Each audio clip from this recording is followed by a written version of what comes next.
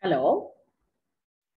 Uh, so we will now start with module three of transmission and distribution, the codes on transmission and distribution. So you have seen about the performance characteristics, how to uh, calculate the resistance, reactance, capacitance of lines. Now we will look at the line modeling. Okay. So this is Professor Uma Rao from RV College of uh, Engineering, bringing you the slides and the presentation under the e-Shikshana program of uh, VTU.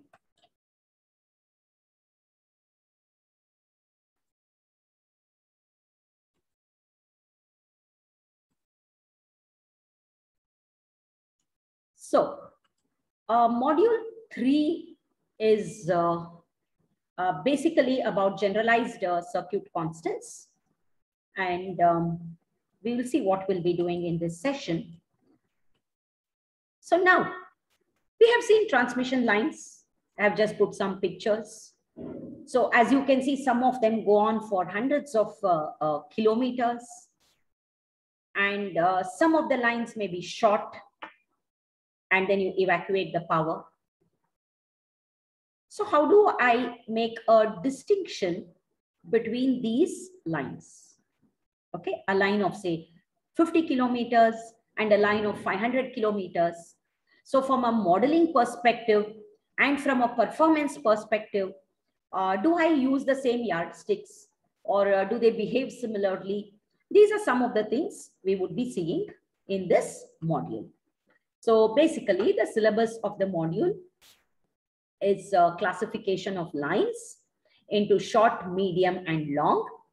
And uh, we will see the current and voltage relationships using the generalized circuit constants. And how do I calculate the line regulation? And uh, very important, Ferranti effect. Uh, what is the effect in short lines and medium lines and long lines?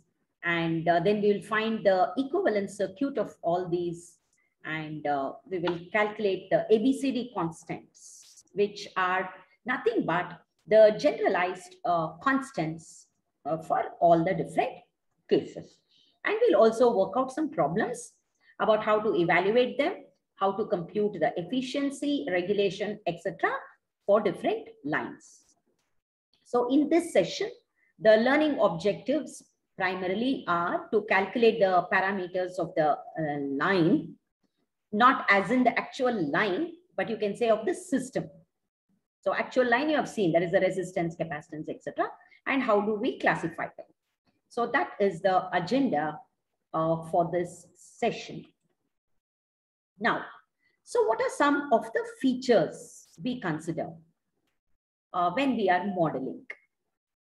So the first is the line parameters themselves are distributed. So you see, if you have a long, if you have a line of 50 kilometers, and I say the resistance of the line is three ohms, what are you talking of? You're talking of the resistance between the end to end, end to end terminals. So if I measure the resistance there, it is three ohms. Where is this resistance? Is it same as having a rheostat of three ohms? Apart from the current carrying capacity, is it just that it is equivalent to a rheostat of uh, three ohms? Or a small electronic capacitor of 3 ohms, which is hardly around 2 centimeters in length. And I'm talking of a 50 kilometer line. So you see this resistance is distributed along the line. Clear? It is not lumped at one place.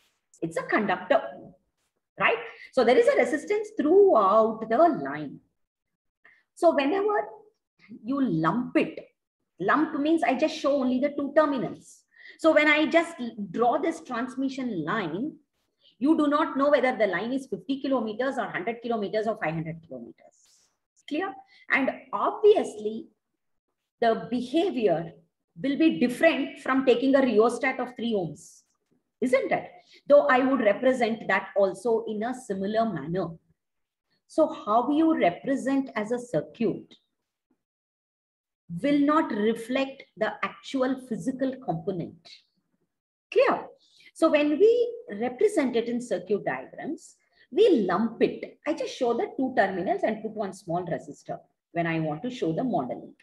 That's called as a lumped parameter. Lumped parameters are okay for some conditions, right? But then when I take a line length of 50 kilometers, what about 200 kilometers? What about 500 kilometers? Right. So it is not between, though it is between two terminals, it is distributed along the length of the line. So instead of specifying the resistance, I would rather specify the resistance per kilometer, the inductance per kilometer, the capacitance per kilometer. So then if it's a 10 ohms, 10 kilometer line, you can calculate the resistance. If it's a 50 kilometer, you can find out if it's 500 kilometers, you can calculate what is the values of R, L, and C, etc. Clear? That is the meaning of the statement that the line parameters are distributed. Though you show it between two points, it can run to hundreds of kilometers, right? So based on certain assumptions, based on certain assumptions, we lump the parameters to develop a circuit model. I lump it, right? And I can use the same circuit model for three phase and single phase. The only difference is in a single phase, I will have two conductors, a forward conductor and a return conductor. If it's a single phase system, I'm not talking of line to neutral uh, voltage. No, I'm talking of a single phase system. So you have one forward conductor and one return conductor. So if, if the distance between the source and the destination, the supply and the load is 10 kilometers, and it's a single phase system, I would have 10 kilometers of conductor in the forward path and 10 kilometers of conductor to carry the return current. Isn't it? Carry the return current. So what is the total length of the conductor used? It will be length of the conductor used will be 20 kilometers. 10 plus 10 in the return path, 20 kilometers. So if I know the resistance per kilometer and I want to lump this single phase circuit, then I have to multiply the resistance per kilometer into 20, not 10. Are you clear? Why? Because I will have I will have an equal number of kilometers in the return path. So whatever is the parameter we consider, I have to consider for two conductors. Clear? Now, in contrast, you think you are connecting, you are connecting a single phase load between the line and neutral. So I have a three phase supply. I have a three phase supply and I connect three loads between three line to neutral. So now what happens? You know that in the four wire system, the neutral current is very small. And if it is perfectly balanced, the neutral current will be zero. So therefore, when I draw the single phase equivalent of a three phase system, I consider only one conductor because I have only the line conductor. The neutral conductor doesn't carry much current. So I can uh, not consider it. Right? It doesn't add too much heating, neither does it create much voltage drop or anything. Are, are, are you uh, uh, clear about this point? So when you lump it uh, for three-phase circuits, we'll just multiply it by the number of kilometers. Whereas if it is for a single phase, you would consider two conductors. Okay.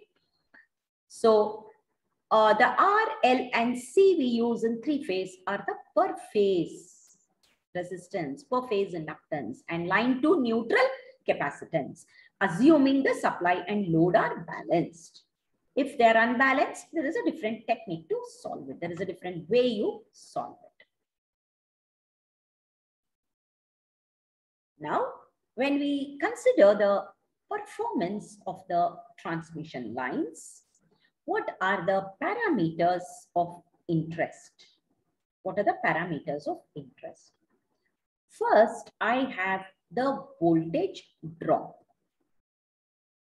Right? I have the voltage drop. Then I have, that is what is the voltage drop in the line? What's the voltage drop in the line? Next, I have losses in the line. How much of loss is there? The I squared R loss. Predominantly, whenever you talk of loss, you mean the active loss. That is the I squared R loss. Though you do have an I squared X loss, that is the reactive uh, power loss. Whenever we talk of losses, we mean the active power loss. And what is the efficiency of transmission? That means how much of the sending end power actually reaches the receiving end power. How much of it is lost? So we have to take into account that. And then what is the voltage regulation? You know the meaning. When you use the word regulation, you mean the change in the voltage. So there are some standard definitions for these and we will find out what they are. So first, let us come to classification. So for classification, we normally consider four param three parameters. That is the line resistance, the line inductance, and the line capacitance. The conductance of the line, which is because of the leakage currents, is normally not considered in the models. Okay, because the le leakage current is very, very small, we don't consider that. So we model the lines based on the values of R, L, and C. The capacitance C is the capacitance between the two conductors in a single phase system. What is the capacitance between the two conductors? And in a three phase system, it is the capacitance between the line and the ground. Here, it's between the line and the ground. And in a three phase system, R, L, C represent the parameters per phase. Represent the parameters per phase. And remember the capacitance forms a shunt path along the length of the line. It is distributed. So it is as if you have capacitance at every point, infinite. But obviously I cannot do much if we, uh, you know, take infinity. I'll be lost, right? So what we do, we try to model it in some meaningful way. So that's why, you know, in the first statement, I said, under some assumptions, we will be modeling the lines, though we all know that it is distributed along the entire length of the line. So first, let us take short lines. So short lines have a line length of less than 80 kilometers. See, this 80 is not a sacrosanct value. I can't draw a line and say anything less than 80 is short and anything more than 80 is long or medium, whatever. No. So some people, they say they take a, a cutoff of 100 kilometers, so some say 60 kilometers, it's fine. So, you know, somewhere between 60 to 100, we call it as a short line. Essentially, what do I mean by this? So that is important. The essence of the model when I call a line as short. So instead of just saying a short line is any line which is less than 80 kilometers or 100 kilometers, let us see if I can refine that definition. So these lines normally the voltage levels will be less than 20 kV. And uh, in the short line model, the capacitance of the line is neglected. Okay. And the line is simply represented by a series impedance R plus JX. So you see, I have just put an RL element here. So R plus JX. So now let me slightly refine my definition of a short line. Instead of defining it in terms of length, let me define it in terms of the model. So instead of calling a short line, I will call it as a short line model. So the short line model is the model of the transmission line where the capacitance of the line is neglected. Clear? So I'm talking in terms of the model. You have a 500 kilometer line. You don't want to take into account the capacitance. Then you, you it, it is a short line model. Okay. So normally up to why we ha also have a length is up to around 80 to 100 kilometers, neglecting the capacitance does not cause any serious errors in computation of the previous parameters we saw. What were their parameters? Of performance, parameters of performance, the voltage drop, the losses, the transmission efficiency, and voltage regulation. Okay.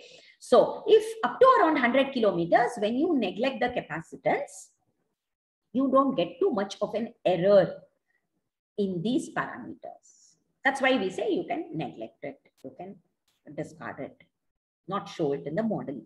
So I would rather prefer to use the word model along with the line. I would rather prefer to use, I call it as a short line model. And generally these models are good for lines less than around 80 to 100 kilometers. Let's come to that understanding. So essentially what is it? It is simply a line represented as a lumped RL element. It's a lumped RL element. That is a short line model. Next. So in this circuit, I want you want to draw your attention to this circuit. This is how it's normally drawn. Vs is the sending end voltage. You see here, I have a plus and a minus. And VR is again a plus and a minus. So VR is the receiving end voltage. And the sending end voltage current, sending end current and the receiving end current both are same because it is series. There is no parallel capacitor, so it is in series. So IS is equal to I. This is the model. Okay. So VS is the sending end voltage. VR is the receiving end voltage. In three-phase systems, the figure represents a single-phase equivalent circuit. So VS is the single-phase equivalent voltage and at the sending end. And VR is the single phase voltage equivalent at the receiving end. So that means what is the meaning of single phase? It is the line to neutral voltage, not the line to line. It's the line to neutral.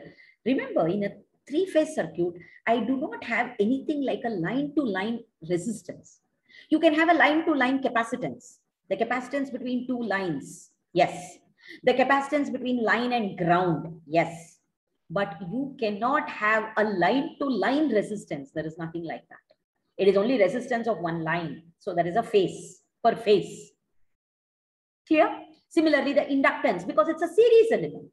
Inductance and resistances are series element. I do not have any anything called as a line to line resistance or a line to line inductance. Whereas you do have a line to line capacitance and you have a line to neutral capacitance. Okay, fine. Now, medium lines. So lines between, sorry, this is not 20, this is 200.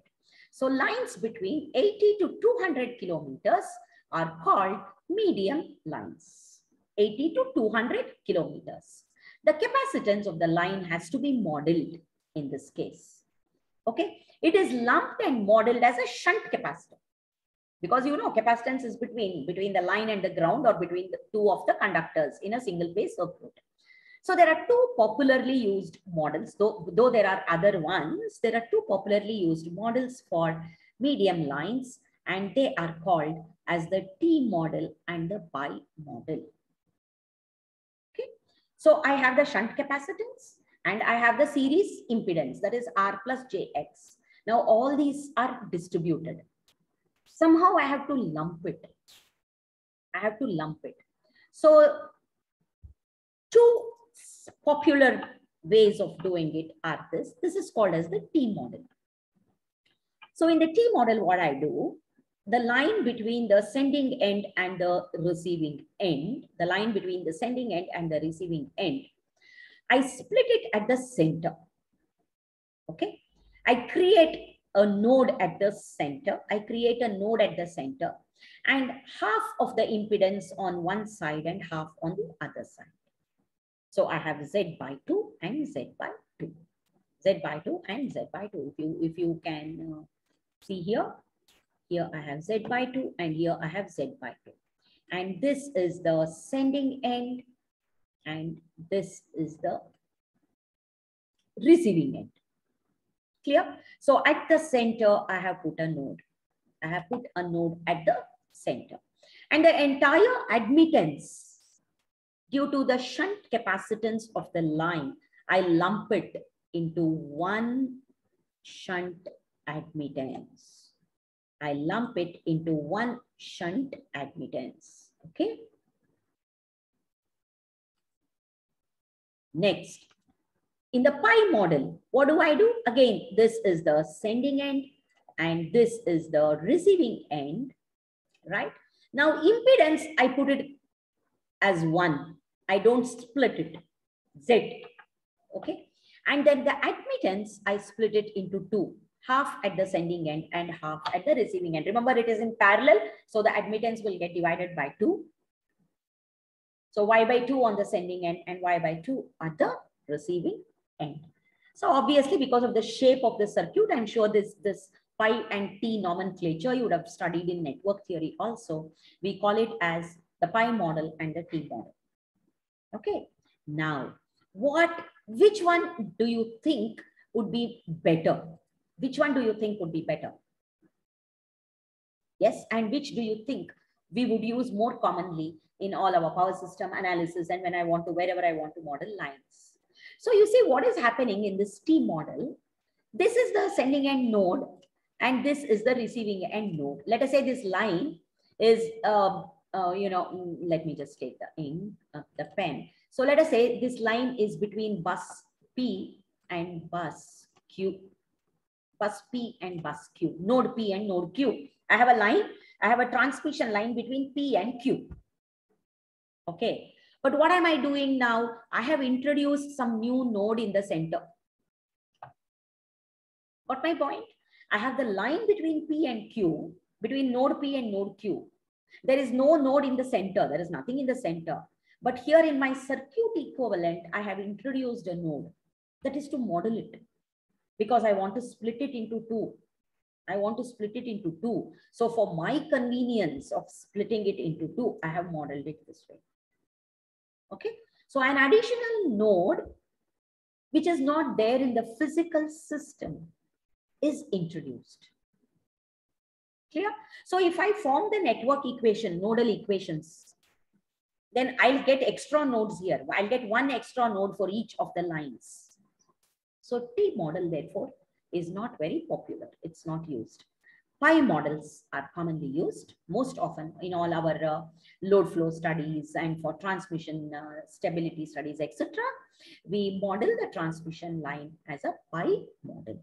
So pi models are more popular. And the reason is you see, I have not introduced any extra node. This is node P and this is node Q. So no extra node has been introduced. So this model is more popular. Okay, next.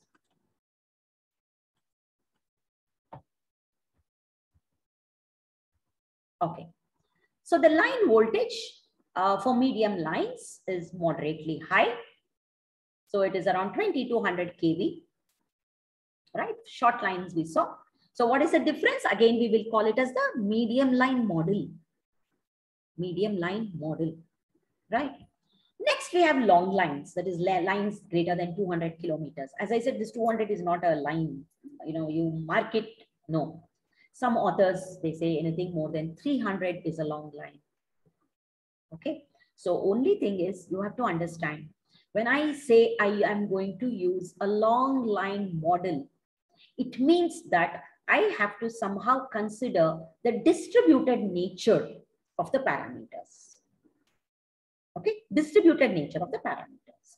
That means I cannot use the same, uh, I cannot lump it. I can't use the short line model where capacitance is not included at all, or I cannot use the pi model or T model because they're all lumped models. Whereas I want to capture the distributed nature. Now, why? Because distributed, when you neglect this distributed nature of the parameter, you may end up with some inaccuracies and you may not get some idea of some changes in the system.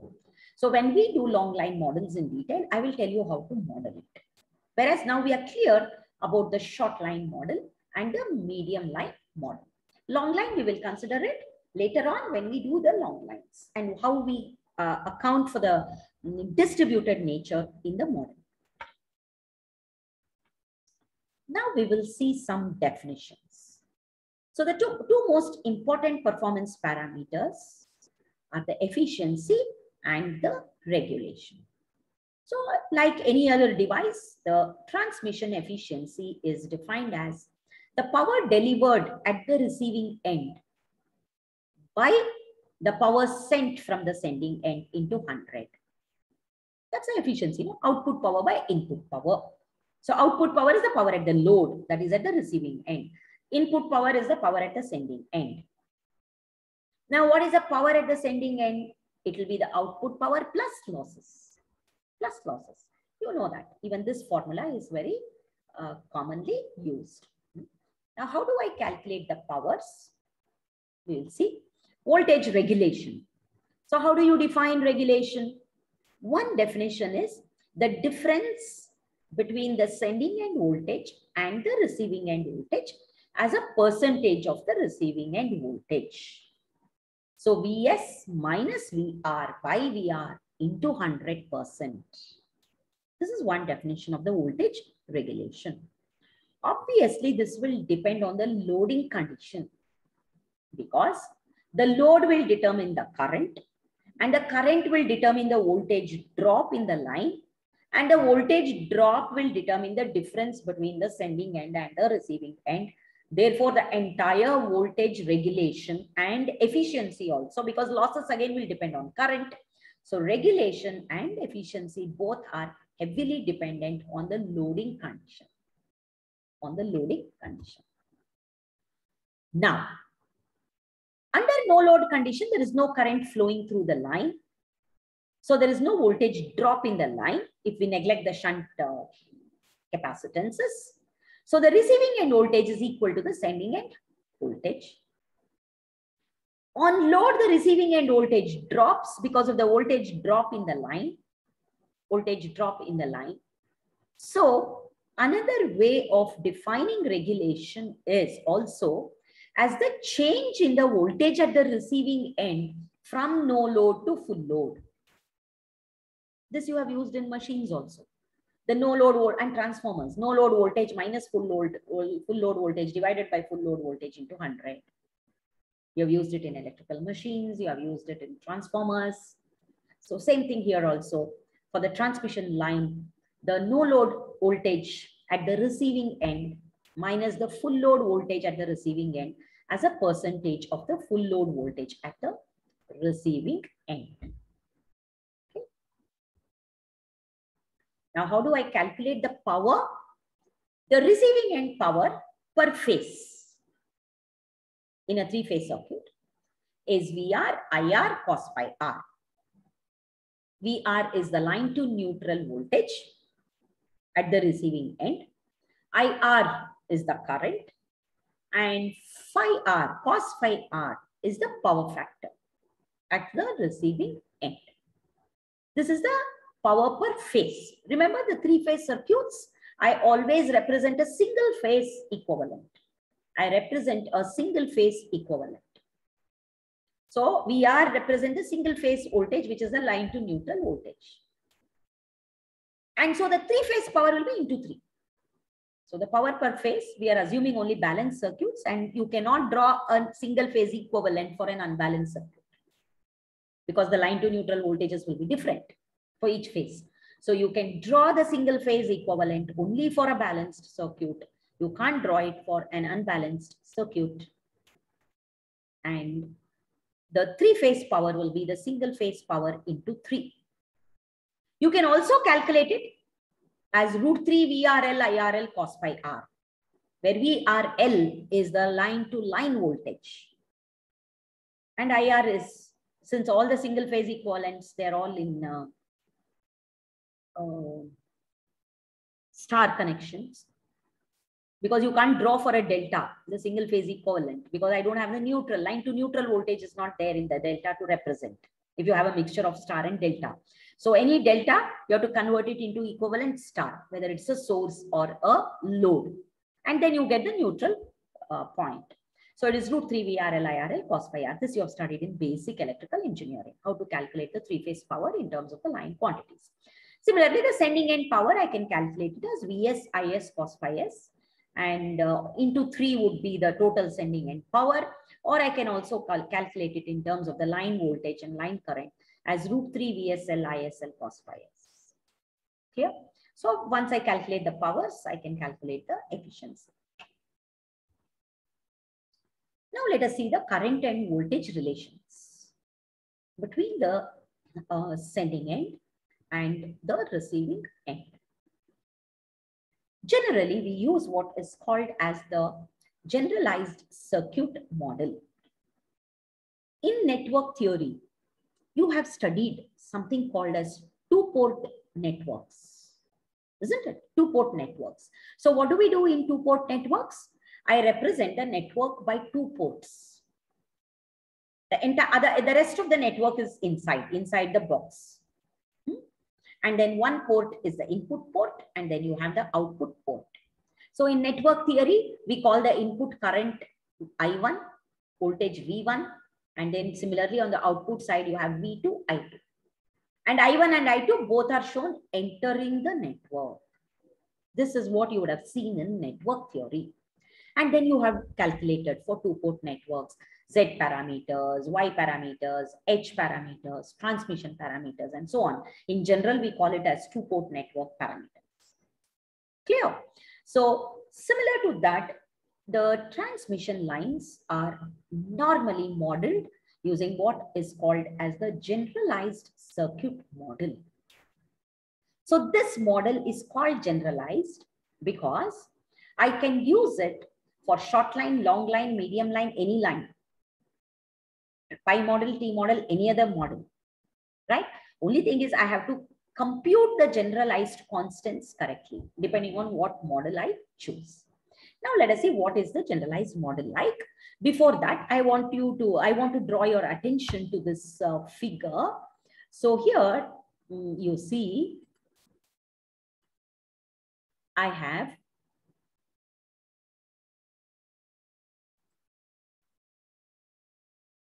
I have the input voltage, sending end voltage Vs and IS you see is like our regular two port. It is into the network, into the network, the sending end current. Only thing is here you see receiving end current is like this out of the network. That's because at the receiving end I connect the load. So the load will draw the current. So in generalized circuit constants, we show the receiving output port current outside the network, out of the network. Whereas in circuit theory, you may have shown it into the network. See, in circuit theory, whenever, in, if you recall your network theory, you would have shown I2 like this. This output port current like this. But here it is shown out, out from the network. So remember this. Okay, fine. And I have the receiving end voltage. I have the receiving end voltage the receiving end current out of the network, the sending end current into the network. So we define, we define some generalized circuit constants to denote the relationship between the sending end and the receiving end. This is universal everywhere. So how do we do it? We say Vs is equal to AVR plus BIR. So I you're, you're used to you're used to writing such uh, equations. Okay, you would have written in terms of z parameters. V1 is equal to Z11 I1 plus Z12 I2.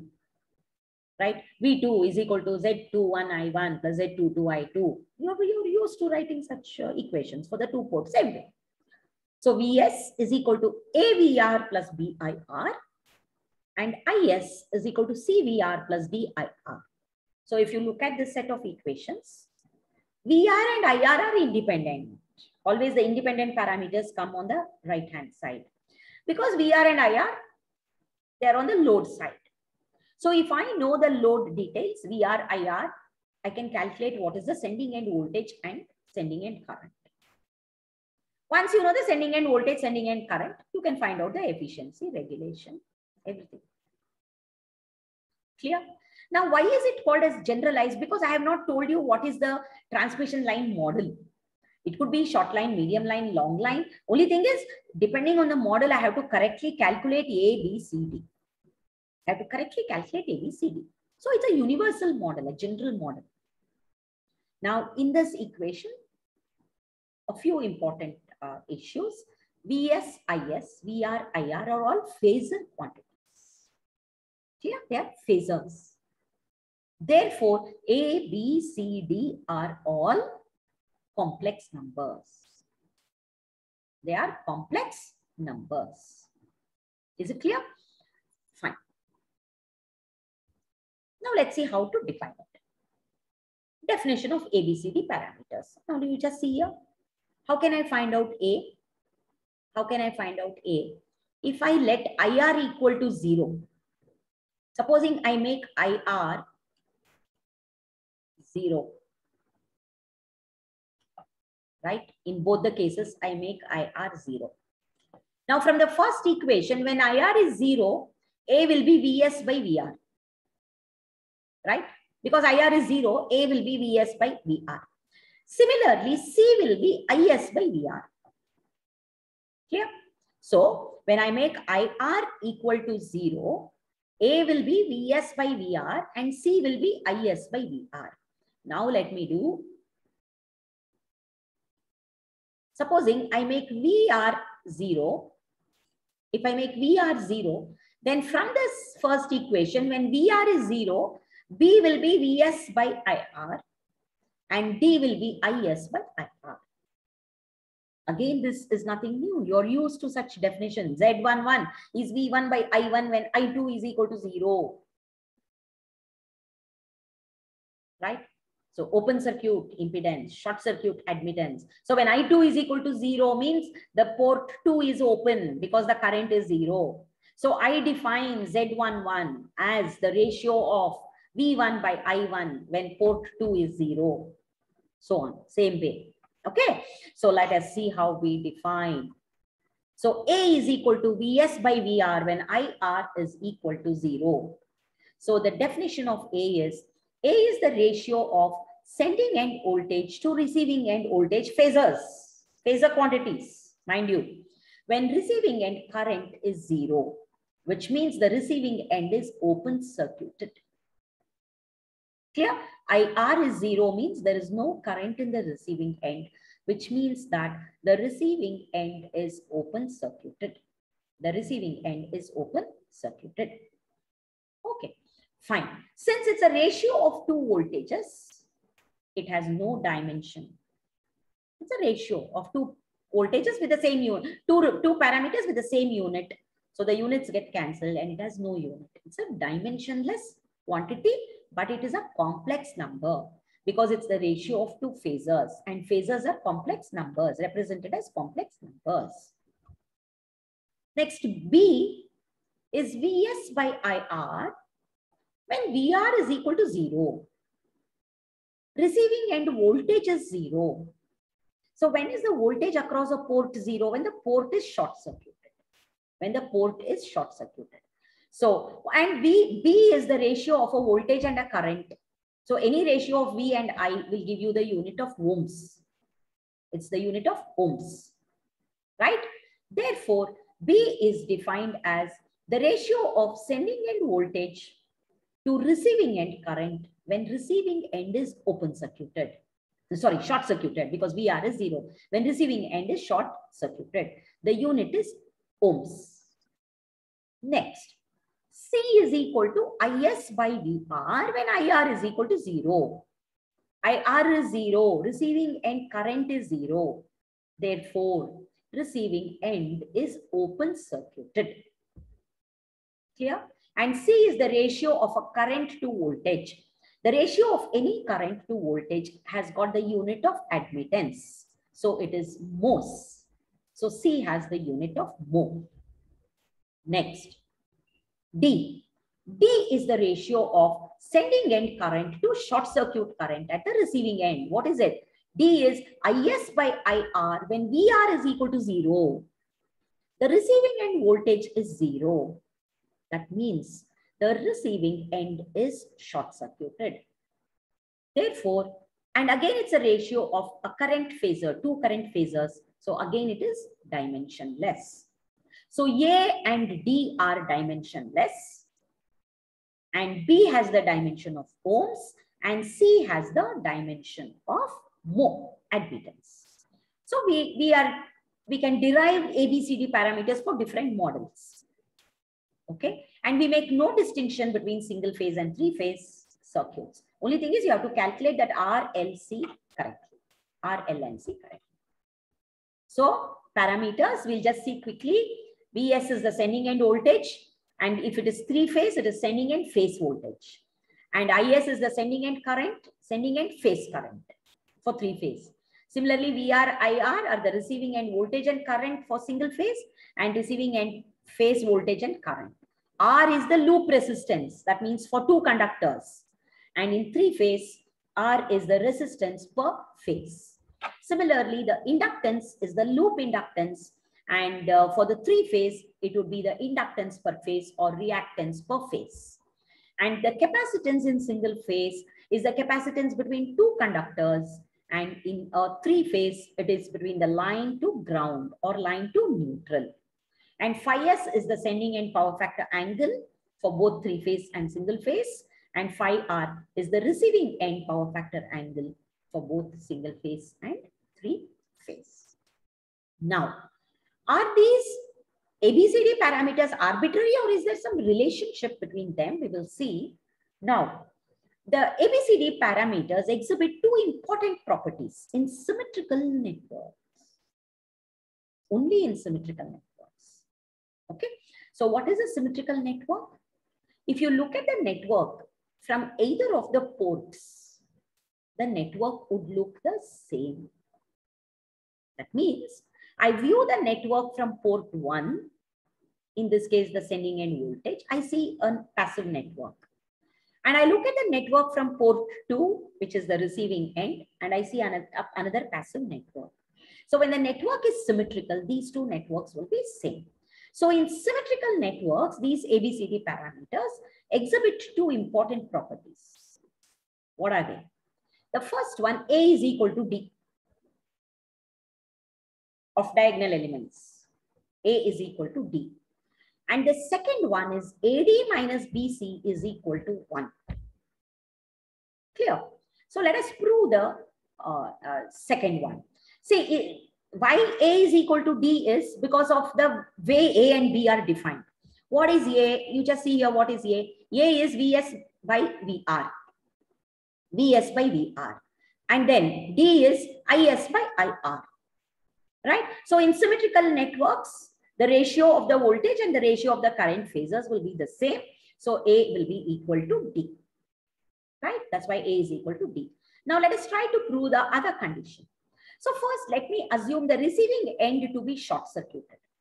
That means VR is zero. And I apply a voltage E at the sending end. So what do I have? VR is zero. Vs is equal to E. I'm applying a voltage E. And since VR is equal to 0, what is Vs? Vs is equal to AVR plus BIR. VR is 0. Therefore, Vs will be equal to B into IR. So what is IR from this? IR is Vs by B. That is equal to E by B. So I have IR is equal to E by B. Next.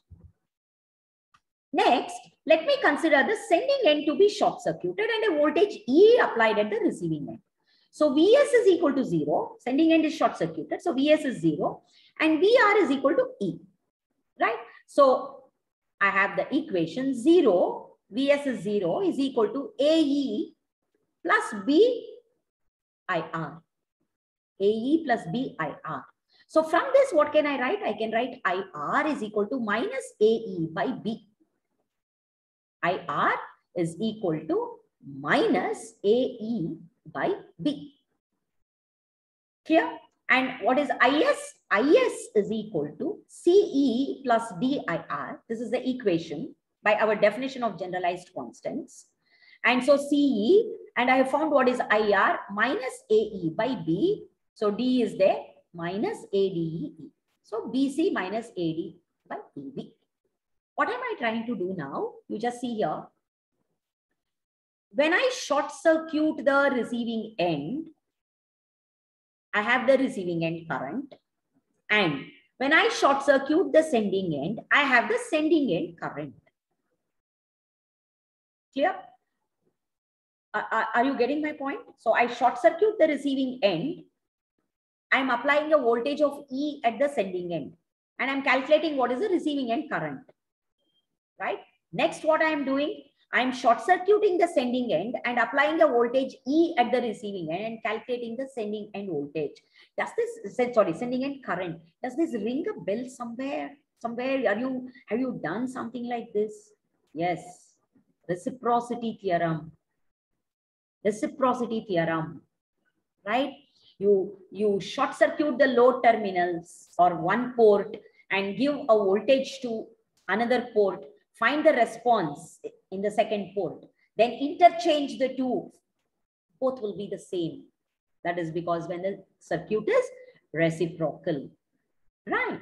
And now, since these are all linear circuits, they all obey reciprocity. And therefore, therefore, I have from reciprocity theorem, the IS obtained in the second case is equal to minus IR. Why minus IR? Can anybody tell me? Why minus IR? Can you think? Yes, because if you remember, IR is out of the network. IR is out of the network, whereas IS is into the network.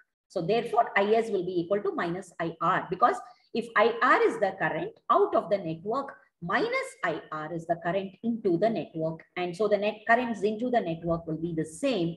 And therefore, IS is equal to minus IR. So IR in the first case I saw is E by B. That is minus E by B is minus IR. IS in the second case is BC minus AD by E by B. We saw this. So from this, I have BC minus AD or AD minus BC is equal to 1. BC minus AD is minus 1. Therefore, AD minus BC is equal to 1. This is a very important uh, property which we will be using for different models of the lines. Okay. So I can write in matrix form Vs into Is is equal to, sorry, Vs Is is equal to ABCD. So this is called as the generalized circuit matrix constants. ABCD are called as the generalized circuit constants. So this tells you how to calculate the sending end and receive sending end voltage and current in terms of receiving end voltage and current. That's why it's called as a current and voltage relationship. The relationship between sending end and receiving end. Now, if I want the reverse, if I want to calculate the receiving end parameters in terms of the sending end parameters, so VR and IR is equal to ABCD inverse VSIS.